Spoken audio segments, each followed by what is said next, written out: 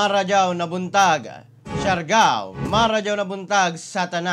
Maradyaw na buntag usab kanin yung tanan mga kasyargaw. Ano yan nasabda sa laing edisyon sa atong programa, Siargao TV News. Para napaghatod kaninyo sa mga importanteng balita nga angay natong masayran. Dini na sa isla sa Siargao, sa probinsya Surigao del Norte, sa rehiyon sa Caraga, o sa tibuok nasod Pilipinas, Luzon, Visayas, Mindanao, o sa tibuok kalibutan.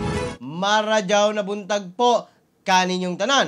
Maradyo na buntag sa tanang uh, viewers nato. Gikan na sa mga kalungsuran nga sakop ning atong isla sa Siargao, ang dapasan Isidro San Benito Santa Monica Burgos del Carmen, General Luna Socorro, og sa Pilar.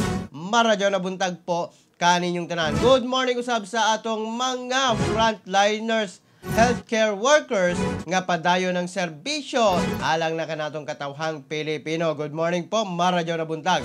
Maradyo na buntag usab sa atong mga silingan nga probinsya ang Agusan del Sur, Agusan del Norte, Surigao del Sur o gang Dilagat Islands. Maradyo na buntag po. Good morning usab sa atong mga nagkadaiyang viewers, commenters, reactors nga padayon nga nami suporta kanato. Salamat po mga ma'am, mga sir, Salamat! Good morning Kuya G watching from Barangay Consolacion. Keep safe, Siargao noon. Giga na kan Sir Espino Mike. Sir Mike, good morning. Maradyo kanimo dina. O maradyo na buntag kanimo dina. Good morning Kuya G, pa shout out sa ako pamilya. Pamilya ni Glorina Consigna. Giga na ka Sir Tino Consigna. Salamat sir, good morning. Maradyaw na buntag. O karong adlaw mga kasyargaw, Happy Fiesta Municipality of Socorro.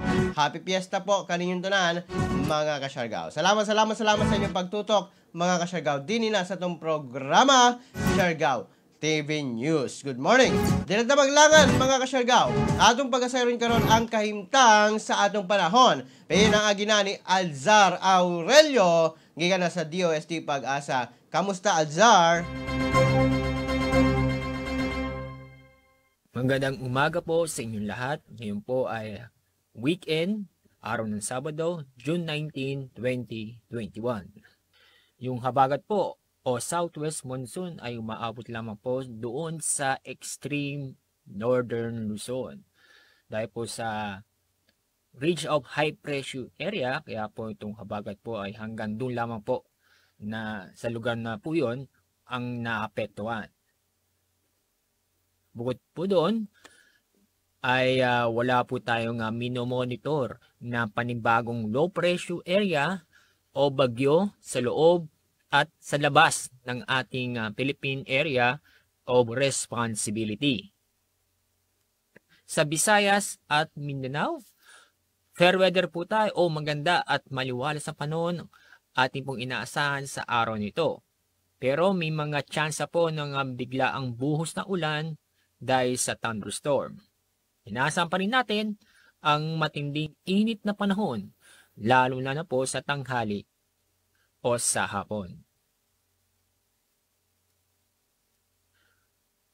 Para sa mga kababayan po natin sa Iloilo, Cebu, ang forecast maximum temperature po natin ay aabot ng 33 degrees Celsius.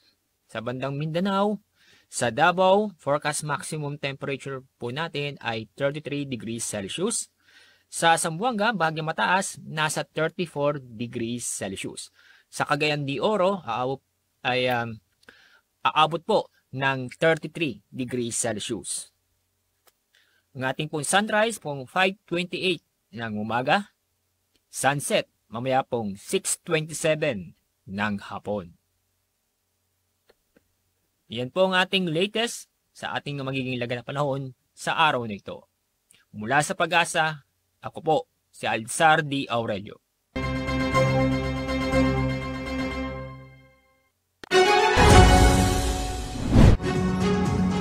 Okay na mga kasyargaw, ang latest updates dato karon sa kahimtang sa panahon. Kaya na mismo kang Alzar Aurelio sa DOST pag-asa. Good morning po, maayo po ang uh, panahon nato karon mga kasyarga, wala tayong masinati na bisan unsa na mga pag-ulan. Apan, ang kapaso, ang kainit, ang uh, atong masinati karon.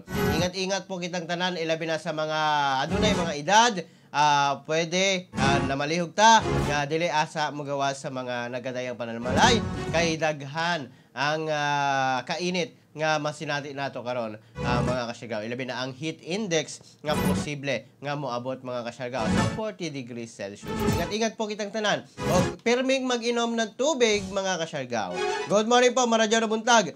Kanin yung tanan mga kasyagaw og happy fiesta Municipality, uh, Municipality of Socorro. Good morning po, Maradyo buntag, kanin yung tanan. Dito maglangan, mga kasyargaw, ang pinakaunang bahin sa mga balita din nasa itong programa, Siargao TV News. 10 new COVID-19 case na itala sa Pilar.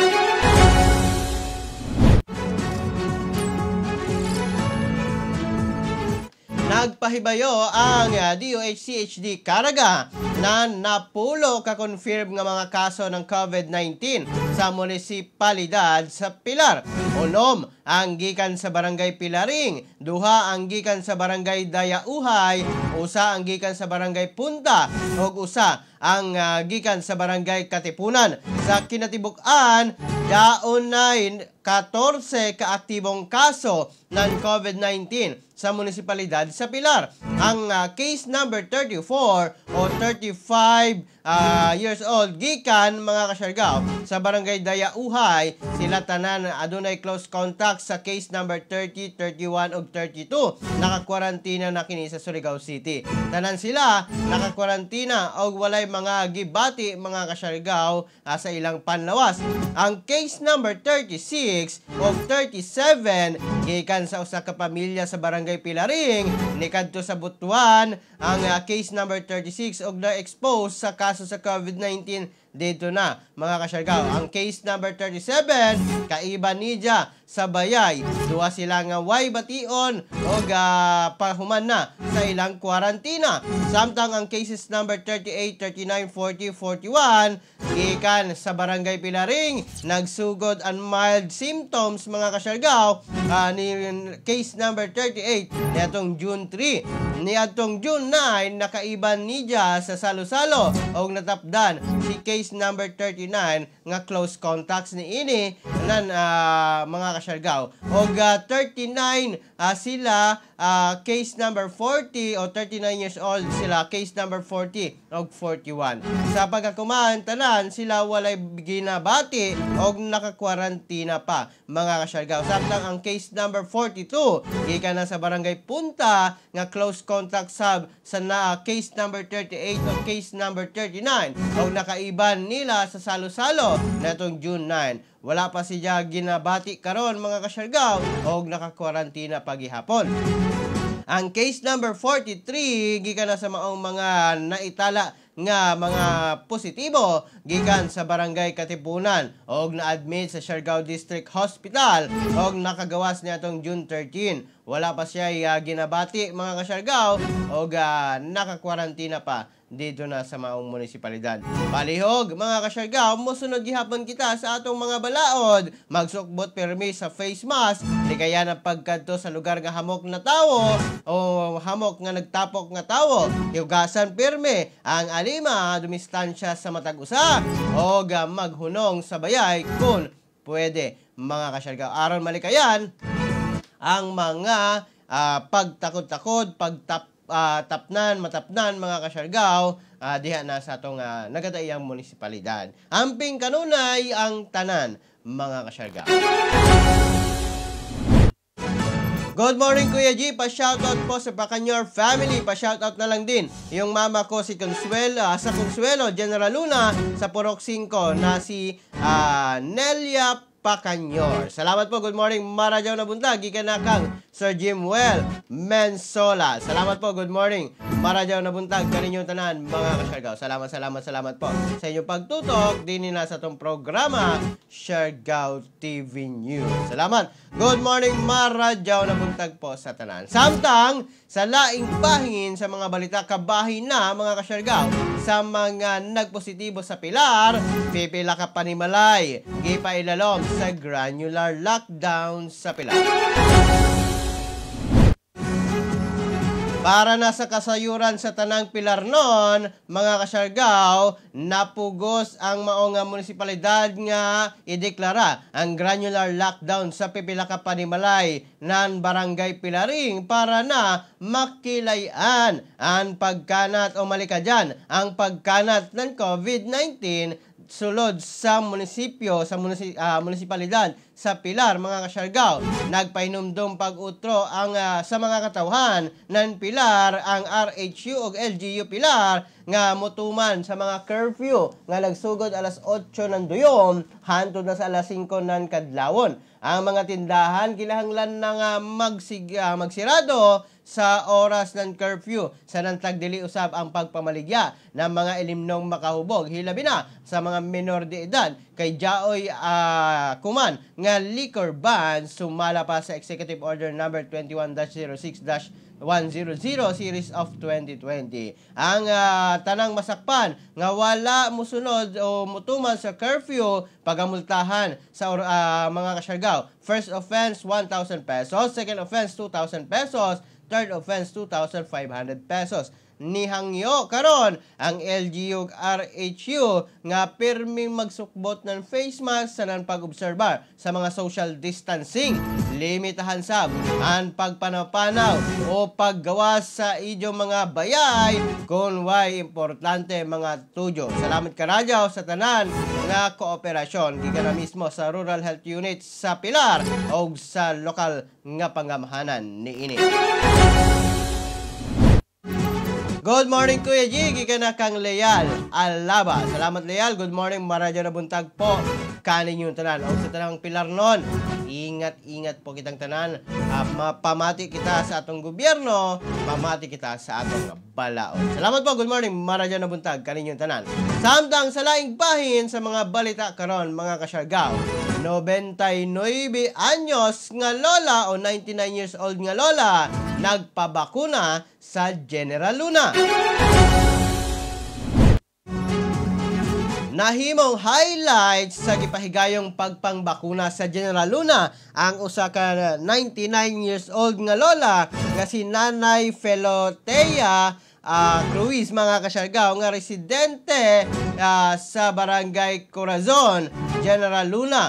Og proud kini nga nabakunahan mga kasyargaw ang maong pagpangbakuna nahitabo sa padayon nga kausa sa lokal nga pagamhanan sa General Luna nga mabakunahan ang tanan mga kasyargaw. Nahimong sentro nga barangay ang Santa Fe alang na sa maong vaccination program uban sa mga residente gikan sa Barangay Corazon, Barangay Santa Cruz, Libertad ug Kabituunan Kinatibuk ang 105 ka individual ang nakadawat sa ilang first dose sa bakuna. Mapasalamaton ng LGU ug RHU General Luna sa pagsalong o kooperasyon sa katawhan o sa mga barangay officials, BHERS, BHW o Barangay Santa Fe mga kasyargaw. Kana ang uh, nagpasabot mga kasyargaw ilabi na sa pagpambakuna sa 99 years old nga lola nga nagpasabot mga kasyargaw nga uh, angay gayud kita na magpabakuna tungod kay wala may uh,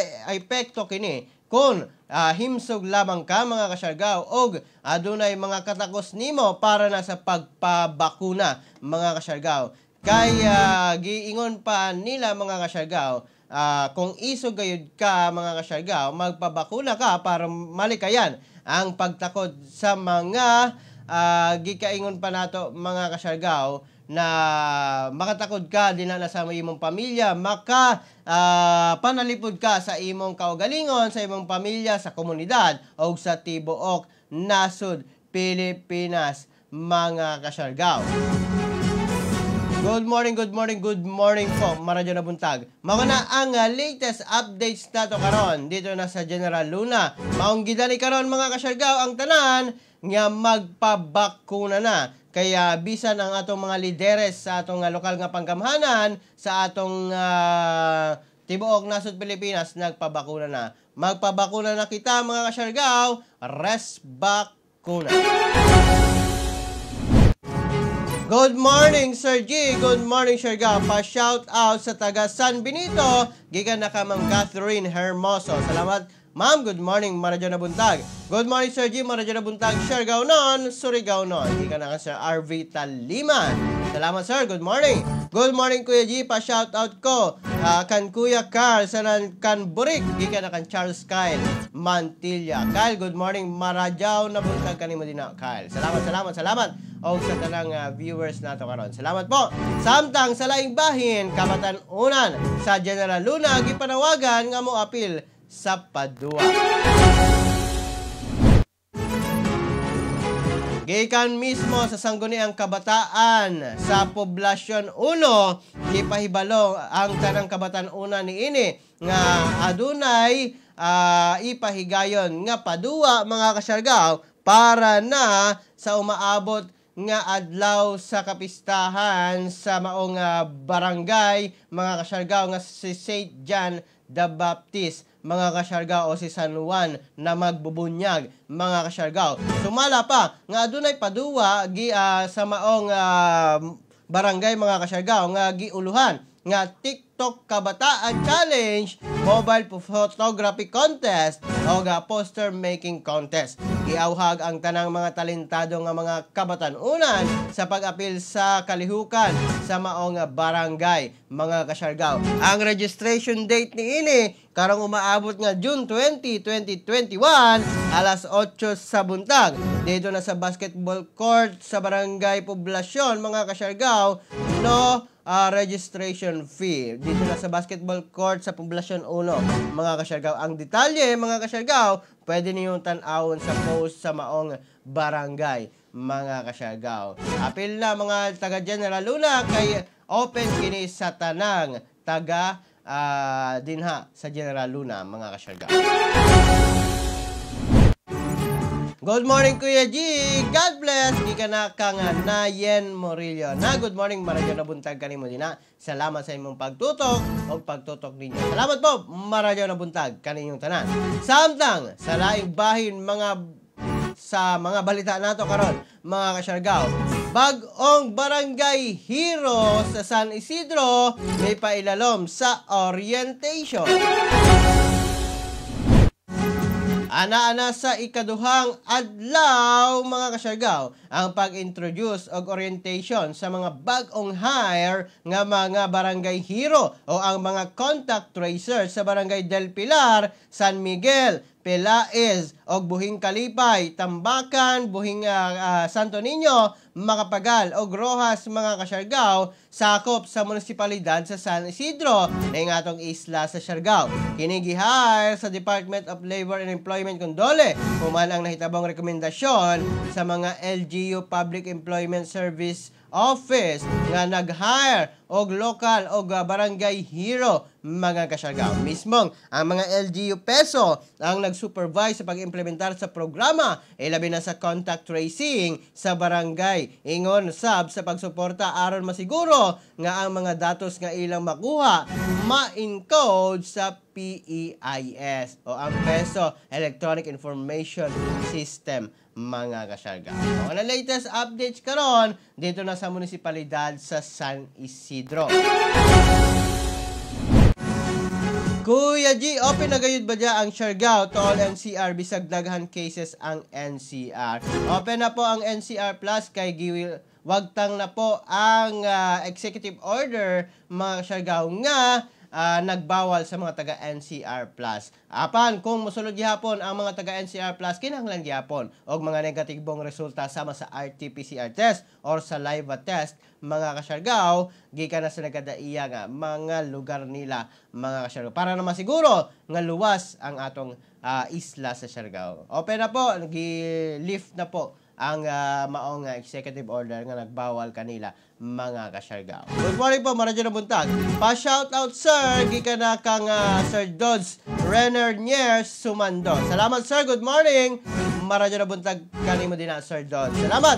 Shout out ako kasin kay Konsihal Loloy Magaluna Family Barangay Katangan. Salamat Sir RV. Thank you, sir. God bless you. Salamat Sir RV Taliman. Salamat sir. Maradyo na buntag kanimo din na Ah, sir, salamat, salamat, salamat kanin yung tanan mga kasyargaw. Samtang ang atong COVID-19 updates sa tibuok Caraga Region, mga kasyargaw.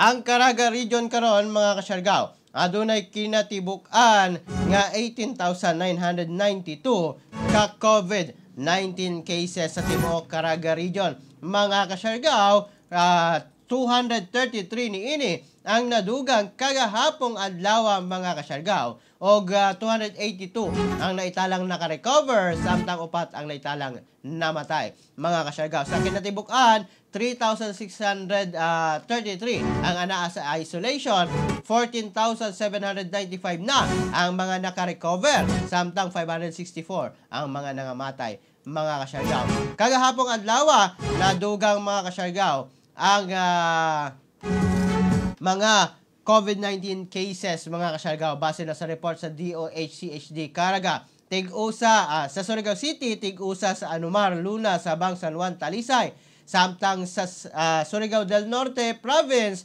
9 ang gikan sa Pilar sa East gikan sa General Luna lima ang gikan sa Socorro upat ang gikan sa Dapa tigduha sa Bakwag ug Taganaan tig-usa sa Claver Malimuno sa Isidro og sa Tubod mga kasyargaw. Ingat, ingat, ingat po kitang tanan mga na latest updates karon sa kaimtang sa COVID-19 sa Caraga Region.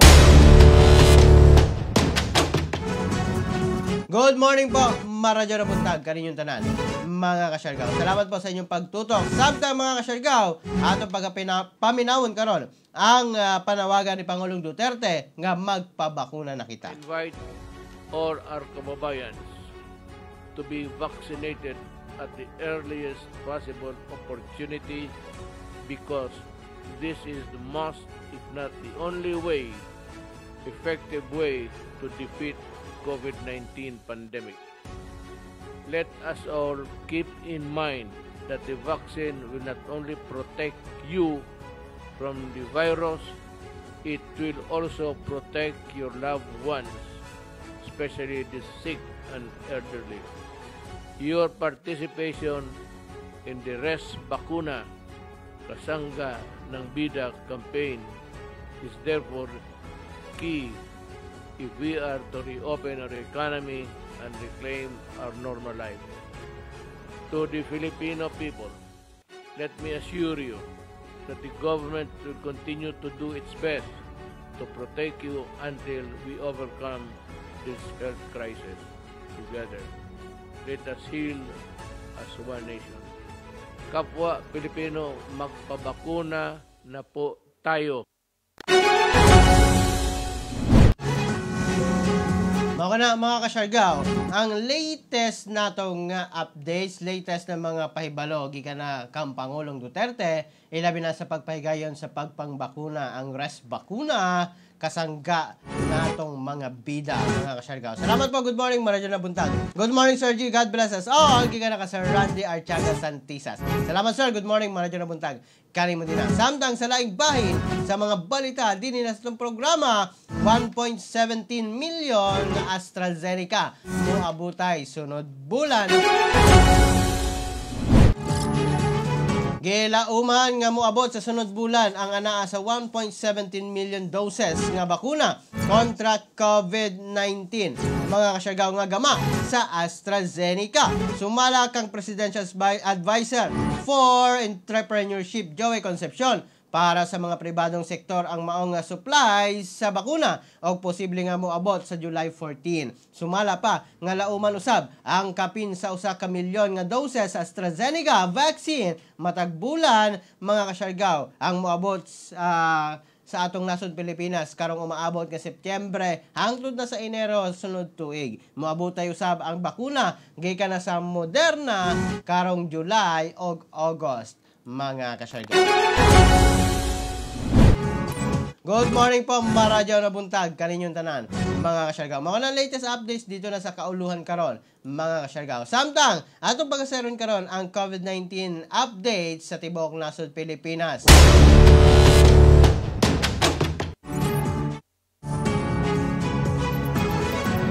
Maradyaw na buntag po kaninyong tanan mga kasyargaw.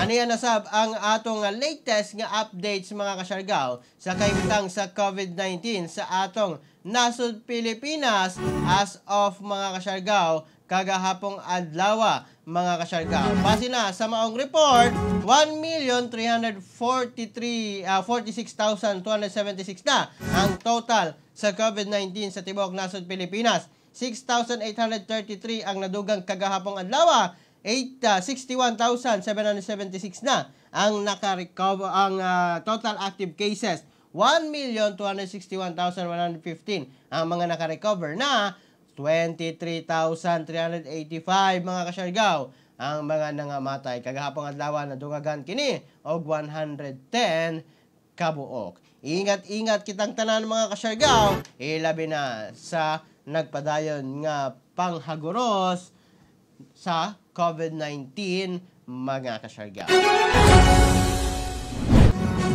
Ingat, ingat, ingat mga kasyargaw. Ilabi na sa mga nagkadaiyang uh, panimalay, nagkadaiyang munisipalidad, nagkadaiyang komunidad. Ilabi na sa paglikay sa COVID-19. Happy Fiesta usab mga kasyargaw sa Socorro karon. Good morning, maradyo na buntag po kaninyong tanan. At sir ka makapamista mga kasyargaw, magpa RT-PCR test gihapon ka asa mga kasyargaw. Ado na tayo nakuha karon mga kasyargaw nga la, uh, latest nga uh, updates mga kasyargaw. Uh, 32,000 ka mga kahoy nga lawaan nasakmit sa Hinatuan Municipal Police Station mga kasyargaw dito na sa Surigao del Sur. Mukabat sa 32,000 ka mga kahoy nga lawaan ang nasakmit nga gikasa o sa gikasang anti-illegal operation dito na sa Hinatuan Municipal Police Station, Surigao del Sur, First Provincial Mobile Force Company. Uh, mga kasyargaw kagahapong adlaw sa kapingkon kulang alas 2 sa kadlawon. Ang uh, mga lawaan lumber nga nasakmit mo abot sa 209 kabuok nga dunay total volume nga 616 board feet mga kasyargaw. Samtang naaresto sa gikasang operasyon si Antonio Pita uh, Taperla, 51 years old mga kasyargaw, nga residente sa barangay San Roque, Bislig City, Surigao del Sur. Kasamtangang gikustudiya ang nasangpit nga dinakpan sa Hinatuan Municipal Police Station og mga nagatubang sa kasong kalapasan sa Presidential Decree number 705 o ang Revised Forestry Code of the Philippines, mga kasyargaw. Samtang ang mga nasakmit nga mga kahoy nga lawaan, mga kasyargaw, ang hingpit nga gi-turn over sa DNR kung Department of Environment and Natural Resources. Kauban ang mga kapulisan sa gikasang anti-illegal operations, ang DNR mga kasyargaw dito na sa Barangay Sasa, Hinatuan, Surigao del Sur. Mga na latest updates mga kasyargaw atong nakuha gikan na mismo sa Police Regional Office 13 o Police Regional Office Caraga Region mga kasyargaw sa pagpangula uh, sa pagpangulo ni uh, Regional Director Romeo Karamat Jr. mga kasyargaw. Salamat sir, good morning sa imong updates din na sa maong mga uh, nagkadaiyang uh, nagkadaiyang uh, bahin sa Surigao del Norte, Surigao del Sur, Agusan del Sur, Agusan del Norte nga ginsakupan sa maong mga kapolisan. Salamat po, good morning. O gaduna sabtay nakuha nga impormasyon mga kasyargaw, gikan na mismo sa munisipalidad sa Socorro nga kamingaw gayod ang nasinati ilabi na kagahapon bispira sa ilang kapistahan, mingaw ang kadalanan. Mingaw ang nagkadaiyang uh, streets mga kasyargaw. Tungod na sa gipatuman karon nga istriktong uh, pagkunhod uh, mga kasyargaw o istriktong pagpatuman aron na makunhuran ang uh, COVID-19 pandemic o pagtapon mga kasyargaw. Base na sa executive order nga gipanganaog ni Socorro Mayor Felizardo Galanida mga kasyargaw. Happy Fiesta po mga taga Socorro. Good morning. Uh, sulod sa Bukas Grande Island. Salamat po. Good morning ma maradyo na buntag kaninyong tanan mga kasyargaw. Din hinalaman ko kutob mga kasyargaw hangtod sa sunod nato nga panag-uban. Din hina sa tong programa Siargao TV News para napagatod kaninyo sa mga importanteng balita nga angay natong masayran din na sa isla sa Siargao sa probinsya Surigao del Norte sa rehiyon sa Caraga o sa tibok nasod Pilipinas, Luzon, Visayas, Mindanao o sa tibok kalibutan. Kininyo nagalagad sa live stream karon Kuya G. Moingon kaninyong tanan mga kasyargaw pagpakabana, pagbantay, makisayod. Aron dili kita, mahisukamod. Ingat Siargao, ingat Pilipinas, maradyo na buntag ka natong tanan. Hi po, gikan na kang Eman Eviota. Salamat Eman, good morning. Kininyo nagalagad sa live stream karon, Kuya G. Moingon ka rin yung tanan mga kasyargao. Salamat, salamat, salamat. Happy Fiesta Socorro. Good morning, maradyo na buntag. Hashtag Siargao TV.